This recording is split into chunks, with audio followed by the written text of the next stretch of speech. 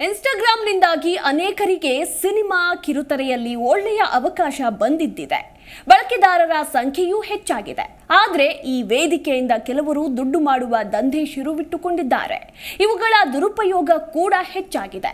ಇದನ್ನ ಮನಗಂಡ ಮೆಟಾ ಅಹಿತಕರ ಘಟನೆ ತಡೆಯಲು ಹೊಸ ತಂತ್ರಜ್ಞಾನ ಅಳವಡಿಕೆಗೆ ಮುಂದಾಗಿದೆ. ಆ ತಂತ್ರಜ್ಞಾನ ಏನು? ಇನ್ನು ಮುಂದೆ ಇದರಿಂದ ನೀವೆಷ್ಟು ಸುರಕ್ಷಿತವಾಗಿರಬಹುದು ಅನ್ನೋದರ ಕುರಿತಾಗಿ ಮಾಹಿತಿ ಇಲ್ಲಿದೆ.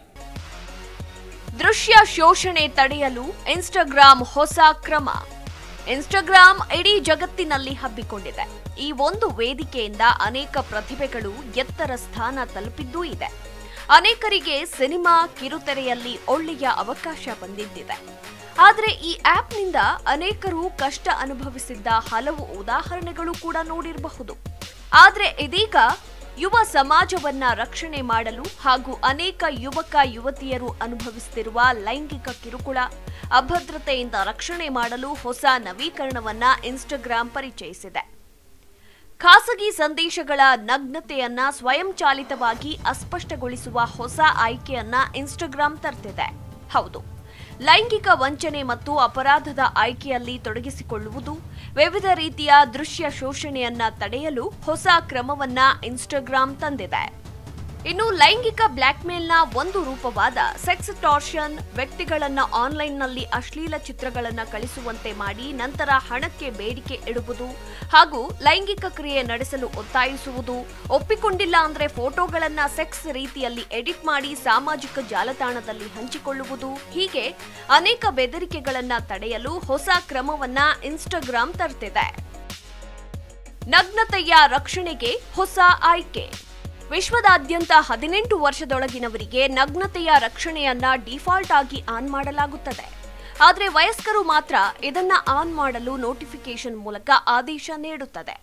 ಇದು ನಿಮಗೆ ನಗ್ನತೆಯ ಚಿತ್ರಗಳನ್ನ ಅಥವಾ ಯಾವುದೇ ಫೋಟೋಗಳನ್ನ ಕಳುಹಿಸುವಾಗ ಎಚ್ಚರಿಕೆಯಿಂದ ಇರುವಂತೆ ಆದೇಶವನ್ನ ನೀಡುತ್ತದೆ.